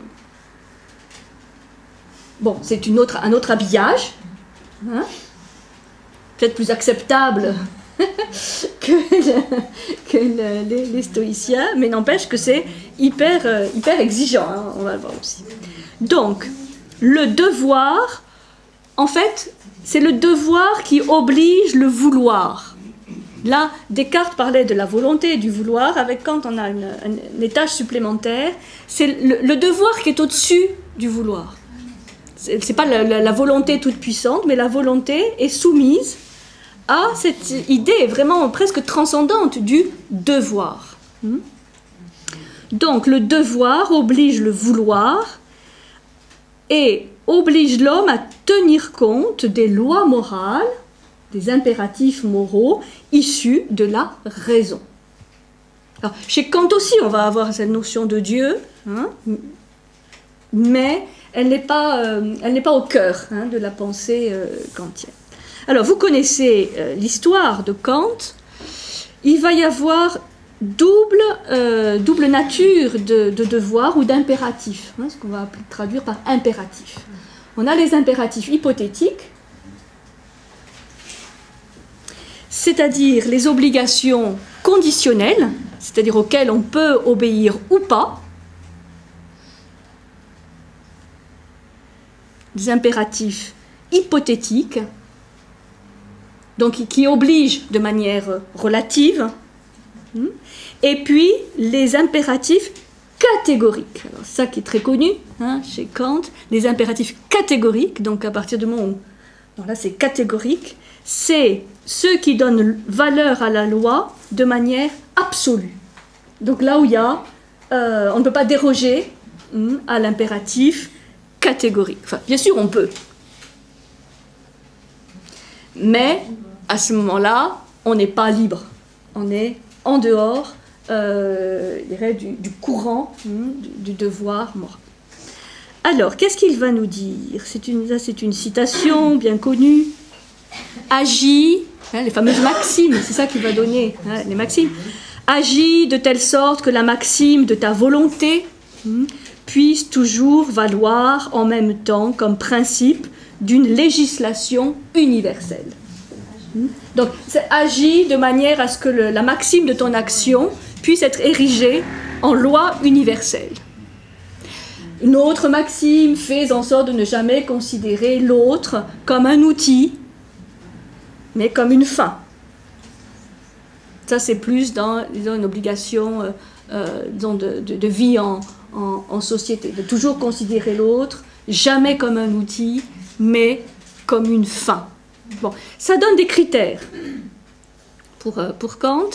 euh, qui est un idéaliste, mais qui se préoccupe quand même. Ça, c'est pour euh, répondre à, à Marc de la semaine dernière. C'est un idéaliste, mais qui se préoccupe de savoir comment on aide les gens à vivre au quotidien. Hein. Ces fameuses maximes, bon, sont des critères euh, quand même euh, assez précis et, et concrets. hein.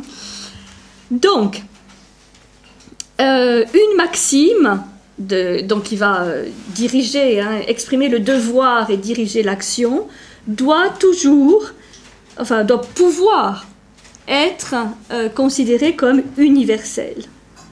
Donc, le principe d'une action formelle, rationnelle, universelle, c'est vraiment la, pierre angulaire de la théorie de Kant, et notamment concernant la, la liberté. L'impératif catégorique, donc, rend possible des actions qui n'ont pas forcément de mobile matériel, mais qui ont un mobile supérieur, un mobile moral. Et là aussi, c'est subtil parce que c'est l'idée de sentir qu'on agit conformément à la loi. Alors, c'est pas tout à fait hein, la vision stoïcienne. C'est une loi beaucoup plus, euh, une loi morale, mais une loi transcendante, et euh, qui fait qu'on est dans la loi ou pas. Hmm? Donc là aussi, on a une notion de liberté qui est l'obéissance à un principe euh, supérieur de la loi morale, qui est de faire ce qu'il faut faire, faire ce qu'on doit. Alors toute la, la question est de connaître ce qu'on doit.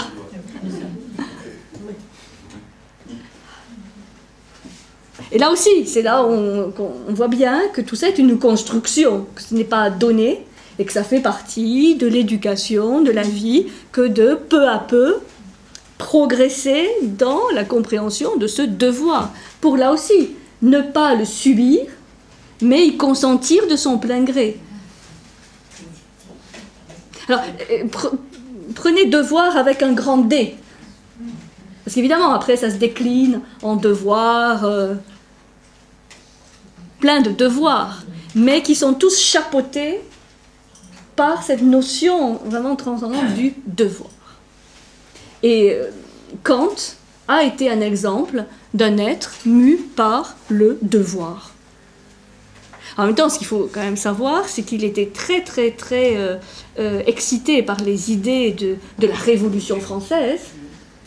Hein Parce qu'on dit qu'effectivement, dans son emploi du temps réglé comme du papier à musique, il a fait une seule infraction à sa promenade de l'après-midi. C'est l'après-midi où il a appris la, la prise de la Bastille. Et que quand même, ça l'avait un tout petit peu perturbé. Donc, il n'est pas sorti cet après-midi-là, parce que sinon, c'était 15h, 17h. Très, très réglé. Alors, évidemment, on se moque de ceci, mais donc les, ces notions de, de révolution française, de liberté, tout ça, euh, évidemment, le, le- enfin, les moustilles. hein, il est tout à fait favorable à ces idées euh, de la Révolution française. Donc, là aussi, la raison se soumet dans le devoir à sa propre législation. Hein, donc, si Pascal avait été encore là, il n'aurait pas aimé la vision kantienne. euh, puisque la raison est autonome, c'est-à-dire qu'elle est à elle-même sa loi. La volonté de l'homme est libre, car c'est grâce à la raison qu'il prend part au monde intelligible. Et au niveau social, il va dire, il y a un impératif euh, du droit qui s'énonce comme suit Agis extérieurement de telle sorte que le libre usage de ton arbitre puisse coexister d'après une loi générale avec la liberté de chacun. Bon, ça c'est ce qui va donner ce fameux la liberté s'arrête, euh, etc. Ce qui est un beau principe. Euh, et ensuite, toute la difficulté, c'est l'incarnation et l'application de ces principes. Mais c'est le propre, c'est le propre de ces, philosophes de donner euh, des directions. Et pour Kant, ces, impératifs sont très opérationnels. Enfin, ils le considèrent comme des maximes vraiment très opérationnelles. Et donc, qui permettent là aussi d'allier un certain déterminisme, disons dans un certain plan, mais duquel on peut s'abstraire à partir du moment où on monte dans le plan de la raison, de l'intelligible et de la captation de ce devoir. Hmm? Donc le devoir appartient vraiment au plan du, du noumen. Un peu platonicien comme si. Alors, qui va-t-on voir? On va voir Bergson, je trouve intéressant. Là, on, passe, euh, on passe un peu plus. Euh, je vais vous dire quand même, euh, je vais vous dire quand même si j'avais prévu un peu du parce que je trouve intéressant ce que dit Husserl. Alors, on, revient un petit peu. Non, sauf, ils, sont, ils sont contemporains de toute façon. Husserl. H.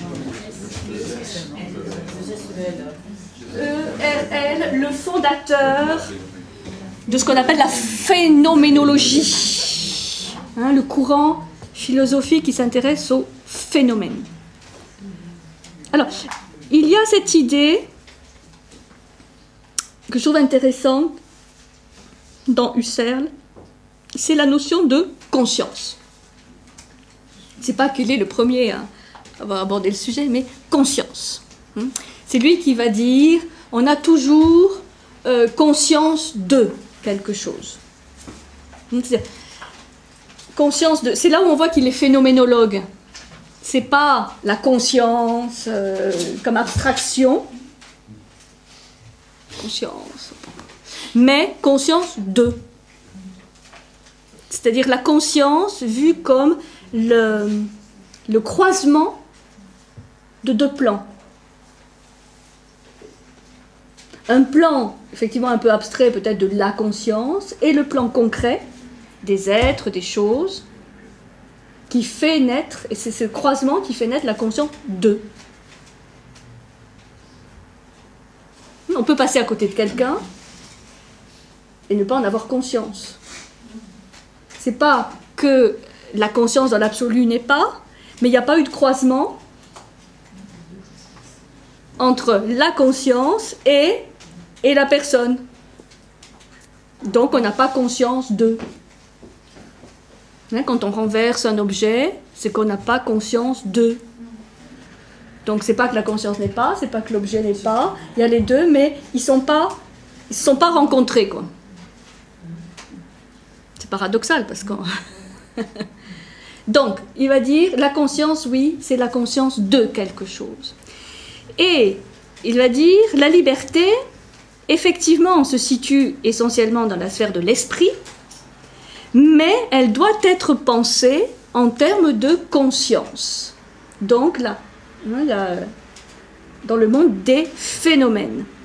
C'est ainsi que pour Husserl, la liberté se présente à nous dans l'expérience. Inutile de parler des grands principes de liberté ou de conscience, il faut toujours ramener ça à l'expérience conscience de, liberté de. Et c'est à partir de là qu'on peut faire grandir le champ de conscience.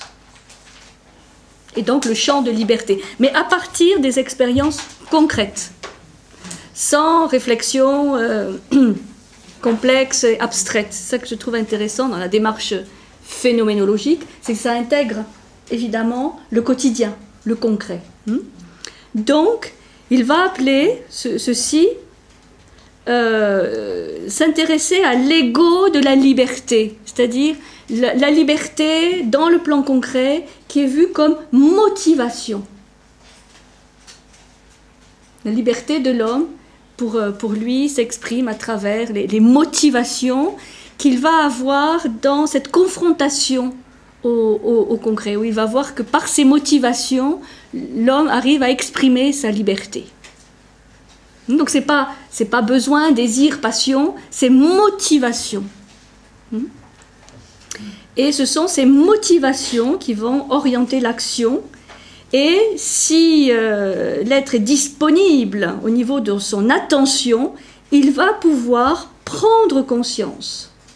Prendre conscience de ses dépendances notamment, et donc pouvoir agir euh, en repoussant la, limite, disons, dans laquelle il était avant. Hein. C'est une idée de, repousser hein, les, limites de la conscience et donc les limites de son champ de liberté. Donc c'est une autre clé assez euh, opérationnelle sur comment, dans le quotidien, prendre conscience de ses euh, dépendances, qu'elles soient euh, économiques, mentales, intellectuelles, affectives, enfin dans tous les plans, pour pouvoir, par la prise de conscience, repousser son champ de motivation et de liberté. Donc ça, c'est assez beau par rapport à, cette euh, problématique de liberté. Bon, c'est rapide, mais c'est pour donner quelques pistes. Alors, Bergson. Bergson, c'est un contemporain de Husserl aussi. Pour lui, c'est un, philosophe français, donc on aime bien. il, est, très intéressant, Bergson. Il va euh, avoir une position assez originale sur pas mal de sujets, de, renversement de pas mal de problématiques. Et euh, lui, il va dire, bon, il y a aussi un déterminisme physique, social, qu'on va appeler le moi, qui va donner, euh, disons, le, petit moi. Hmm. Et donc, euh, la manière de se conduire, euh, bon, selon les contraintes sociales, politiques, disons, de l'environnement. Mais il y a une autre dimension dans l'homme, qu'il va appeler le soi, disons, le moi supérieur, hmm, où là, il y a la liberté. Donc, il va, euh, Bergson est, intéressant parce qu'il va toujours euh, euh, raisonner en termes, là aussi, de couple d'opposés. Hein, la, morale ouverte, la morale fermée, la religion ouverte, la religion fermée, le temps, la notion du temps aussi un peu fermé, ouvert. Et lui, il est pour passer d'une vision fermée, c'est-à-dire un peu, un peu sclérosée et conditionnée, statique, oui, a une dimension beaucoup plus, euh, euh, ouverte, euh, où là, il y a vraiment la liberté de l'homme, même si les critères et les, balises sont moins nettes. Ça, c'est toujours, disons, l'enjeu. On l'avait vu avec la notion de bien ou de mal. Soit on se limite à une vision simplement morale, où là les critères peuvent être assez simples, soit on, essaie de voir un petit peu au-delà de ces connotations euh, simplement morales, et où là c'est un peu plus vertigineux, parce que les critères sont plus complexes. il y a des principes qui peuvent être généraux, mais ensuite dans l'application particulière, chacun est un peu plus seul. Donc Bergson va dire, là aussi, qu'elle n'existe qu'en situation, c'est-à-dire qu'on ne parle pas de la liberté comme ça, comme un absolu. Hmm. Et elle est une poussée, c'est une autre, image, elle est une poussée intérieure. Vous savez, Bergson, c'est l'élan vital, c'est hein, l'impulsion créatrice, c'est la logique du vivant, quoi. Donc, la liberté pour Bergson, c'est une poussée intérieure par laquelle nous libérons nos préférences les plus intimes, nos, motivations les plus intimes, les préférences les plus intimes. Et c'est ça qui va appeler l'élan du soi.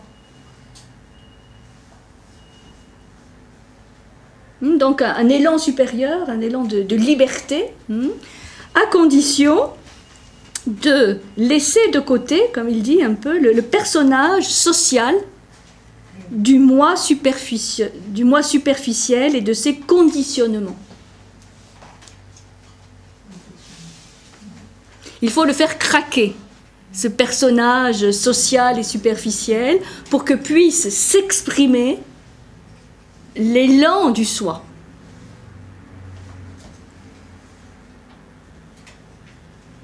D'aller au-delà des conditionnements du, moi social. Hmm?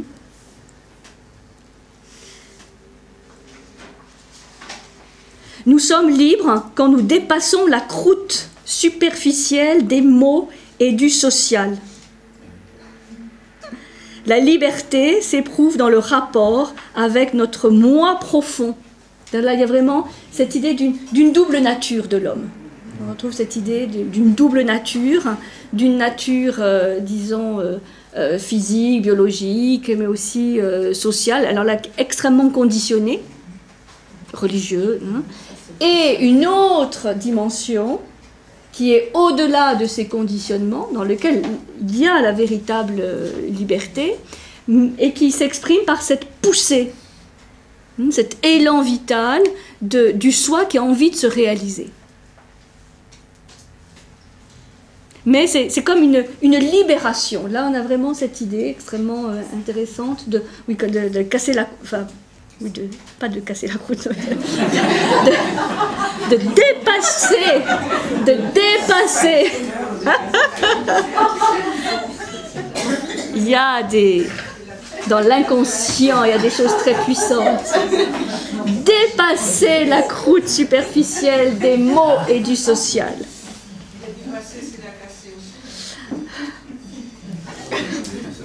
Alors, c'est la base qui va appeler la base de la morale ouverte, par opposition à la morale fermée, qui n'est constituée que de normes conventionnelles et extérieures.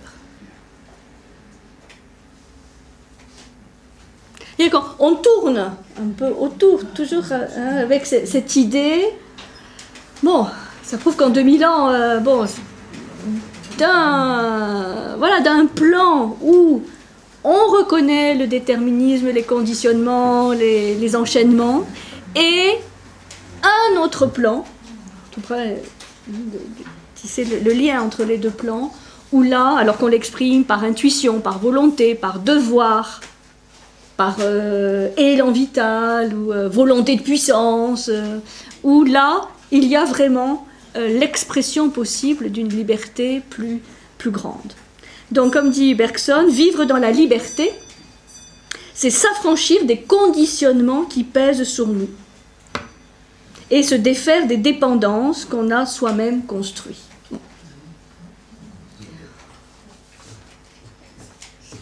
C'est pas nouveau, c'est pas original, simplement, c'est dit avec cette perspective de la vie. De la, hein, je l'avais euh, cité Bergson dans la, toute-puissance de, la vie. Hein de l'impulsion, de l'élan vital. C'est très beau de, ce point de vue. Alors, je vais quand même simplement euh, voilà, parler pour conclure de Simone Weil. Simone Weil, 1909-1943. D'ailleurs, à ce sujet, c'est une petite parenthèse par rapport à Anna Arendt, parce que en fait, euh, je dis une bêtise la semaine dernière, elle est, elle est décédée en 75. Anna Arendt, vous savez, euh, j'avais dit 75, puis après, non, beaucoup plus. En fait, non. 1906-1975. Euh, Donc c'est beaucoup plus récent. c'est pour ça qu'elle avait aussi connu, enfin, refait le lien avec Heidegger ces dernières années. Bon, ça n'a rien à voir avec aujourd'hui, mais je me suis rappelé que je vous avais dit une bêtise, donc corrigez si vous l'aviez noté. Anna Arendt, euh, sur la, banalité du mal, 1975. Bon. Alors, Simone Weil, bon, euh, elle, elle va parler, euh, notamment dans son ouvrage sur l'enracinement. Hmm. L'enracinement, qui est un de ses ouvrages essentiels qui était un peu un programme de reconstruction de la France euh, avant, euh, avant la Deuxième Guerre, hein, dire si elle était euh, assez visionnaire. Elle va parler des besoins de l'âme. C'est un très très beau livre sur les besoins de l'âme et la nécessaire union des contraires. Alors là, on est vraiment dans le et, hein, dans l'union des contraires. Donc c'est un livre qui est paru en 49, hein, qui est paru après sa mort. Et elle va dire dans ses, besoins de l'âme qu'il y a trois besoins essentiels. Trois besoins essentiels. L'ordre, la vérité et l'enracinement. L'ordre, la vérité et l'enracinement. Et en fait, elle dit des trois, c'est peut-être l'enracinement qui est le plus important. Puisqu'elle considère que euh, l'homme occidental a perdu ses racines. L'enracinement. Et elle va dire qu'il y a douze autres besoins qui sont répartis en six couples. Donc trois besoins essentiels et douze autres en six, couples. Et parmi ces six couples, le premier, c'est liberté, obéissance. Et donc on retrouve cette idée paradoxale de la liberté qui est en fait obéissance. Bon, les autres, je vous les cite. Euh, égalité, hiérarchie.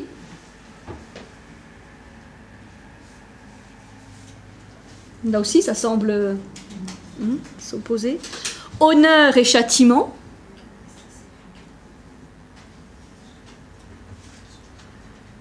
Liberté d'opinion et responsabilité.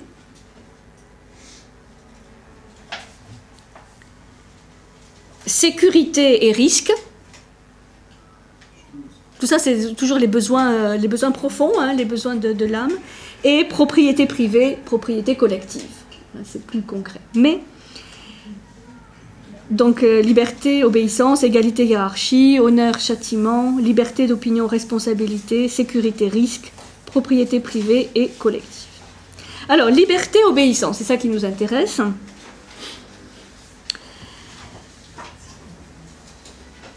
Bon, là, c'est, moins métaphysique hein, que, que Bergson ou Kant, mais elle dit aussi la liberté s'exprime d'abord par la liberté de choisir. Partout où il y a vie commune, vie sociale, il y a des règles hmm, qui sont imposées par l'utilité commune, qui donc sont restrictives, qui limitent le choix. Mais si ces règles sont suffisamment simples, cohérentes, stables, et en nombre limité. Donc là, elle, fixe les, conditions. Hein.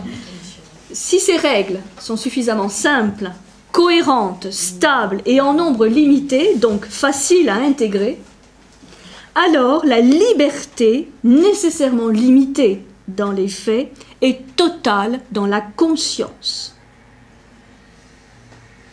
C'est-à-dire que la conscience humaine peut intégrer ces, règles, et donc, en y obéissant, être libre, se sentir libre. Mais, enfin, à contrario, hein, si c'est trop compliqué, pas cohérent, instable et trop nombreux, il n'y a pas de conscience possible et donc pas de liberté. Dès lors, et là, on retrouve, alors, soit des éléments stoïciens, soit platoniciens. Hein. L'obéissance peut être vécue comme un consentement. Elle, elle, explique bien qu'il faut qu'il y ait consentement, c'est adhésion, appropriation. Ça, c'est intéressant même pour, pour, comprendre un petit peu notre époque, où s'il n'y a pas euh, adhésion ou appropriation, euh, on peut multiplier les lois, les réglementations, etc., ça n'arrange euh, rien et ça ne renforce pas la liberté. Au contraire.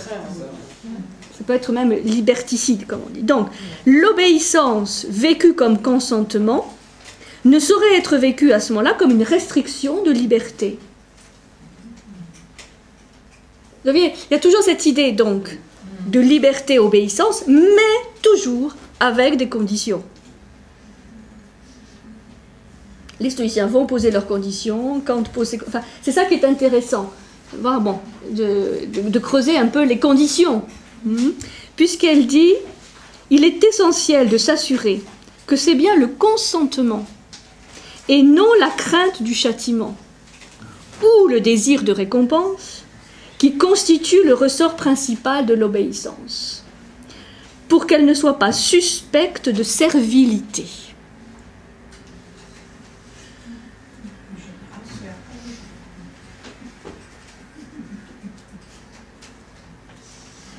Je trouve que c'est vraiment une réflexion intéressante. Hein.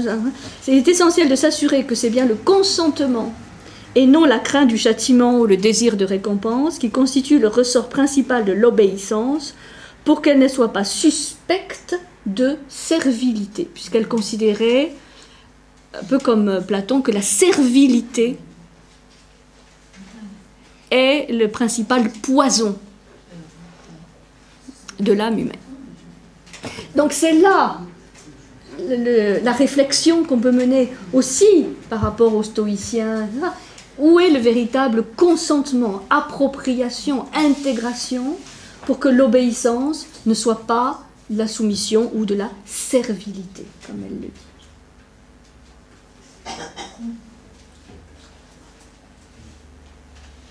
C'est un beau sujet de, réflexion.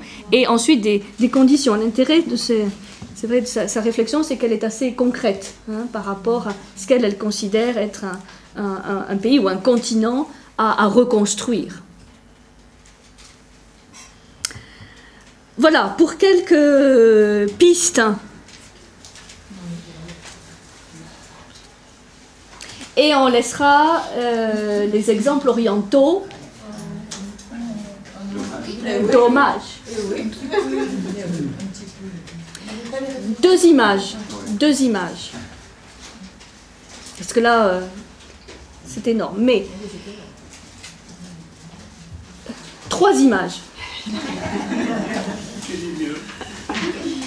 En Chine, il y, a, deux grands systèmes de pensée, le taoïsme et le confucianisme.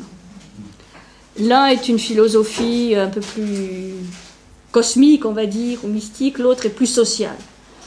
Chez les taoïstes, être libre, c'est obéir au Tao. Le Tao, le Tao, c'est la voie. V-O-I-E. Donc, être libre, c'est être capable d'être dans le courant, le flux, le flot de vie qu'est le Tao. Pour ça, c'est travailler sur tout ce qui peut faire obstruction. C'est l'image du fleuve. On est dans le Tao quand on va dans le, hmm, est dans le courant du fleuve. Pour ça, il faut enlever les euh, branches, les rochers, euh, tout ce qui peut euh, gêner le courant de vie. C'est très exigeant, non? Parce que là, il y a, peu d'éléments intermédiaires. Ça, c'est la vision taoïste. Donc l'homme est libre, s'il obéit aux lois fondamentales qui sont contenues dans le Tao. Pour Confucius, qui est une problématique beaucoup plus politique et sociale, on va aussi avoir cette idée de liberté, obéissance à la tradition, aux ancêtres, aux, grandes figures inspiratrices. Et Confucius va beaucoup s'inspirer des, empereurs un petit peu mythiques hmm, euh, d'avant euh, les dynasties historiques qui faisaient régner la grande paix, c'est-à-dire l'harmonie cosmique. Donc là aussi, en petit, l'homme est capable d'être libre s'il fait régner l'harmonie en lui et autour de lui. Et pour ça, la référence aux anciens, à la tradition, aux ancêtres, est, très importante. Donc, on dit Confucius, parce qu'on pense qu'il a dit, si tu veux être un bon euh, gouvernant, sois d'abord un bon père, un bon fils, hein, disons, euh, assume tes responsabilités d'homme hein, dans une petite sphère avant de pouvoir élargir hein, la sphère de, responsabilité et de liberté. Mais c'est toujours une liberté donc soumise à l'obéissance euh, aux lois, aux lois morales, puisque l'éthique confucéenne est très, est très, très précise. Mhm.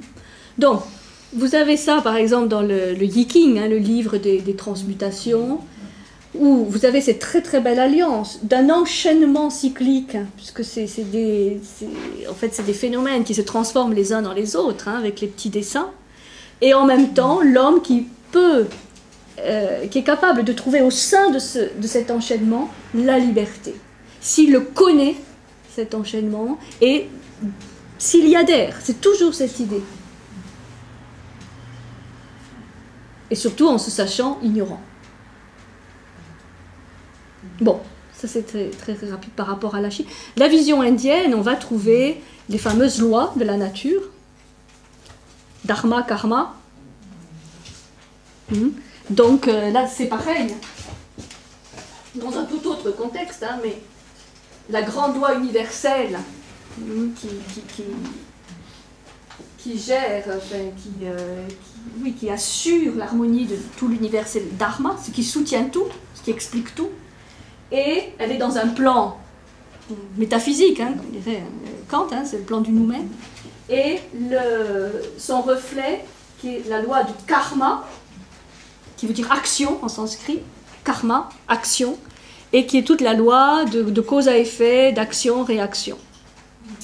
Donc là aussi, on a un enchaînement causal, mais qui n'est pas synonyme de déterminisme ou de nécessité euh, totale, dont on peut se libérer, puisque la vision indienne est une voie de libération.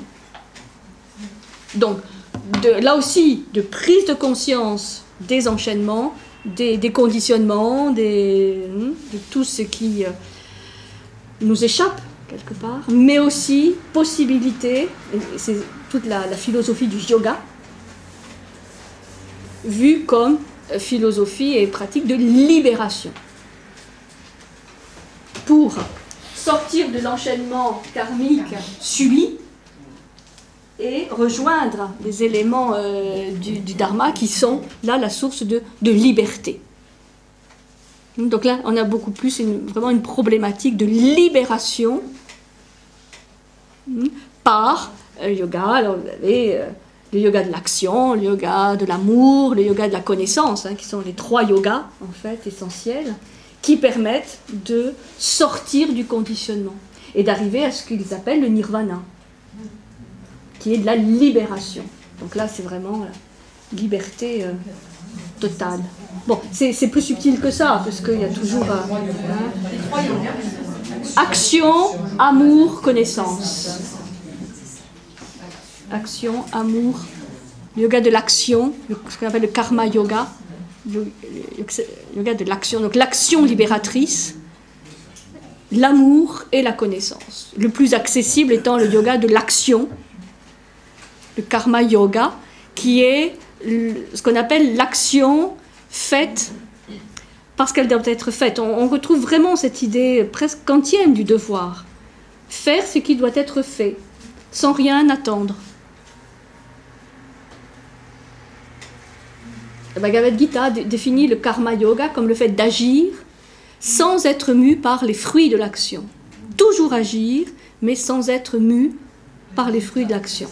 Ni, ni carotte, ni bâton, hein, ni euh, attente d'un résultat, ni peur, disons, de. Hmm. Mais, quant à, à capter à la manière occidentale quelque chose de, ce, de cette discipline du karma yoga. On sait qu'on est dans la loi, puisque on est euh, dans l'action juste, celle qui n'attend rien et qui pourtant est. C'est pas l'inaction,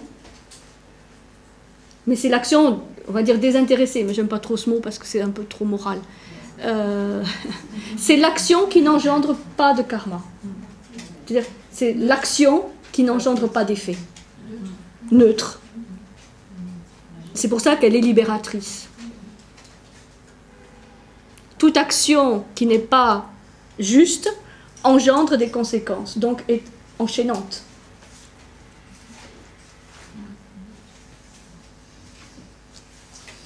C'est pour ça que ce n'est pas une question de quantité. Une seule action juste, une seule, mais totalement juste, peut permettre la libération. C'est comme le, fameux tir à l'arc. Hein. On atteint la cible quand on, est soi-même, la flèche, la cible, l'arc, tout. Là, c'est juste. Et là, c'est akarma, il n'y a, pas de karma. Donc, c'est libérateur. Mais bon, avant d'arriver à ce ya, apprentissage, progression. Euh, euh, bon, voilà, hyper, hyper. Euh, hyper rapide, hein, mais pour donner quelques éléments qui sont très intéressants, parce que ça, c'est d'autres, c'est d'autres mots, d'autres concepts, mais ça, ça enrichit la vision occidentale. Bon, alors, vous êtes libre de partir. En tout consentement.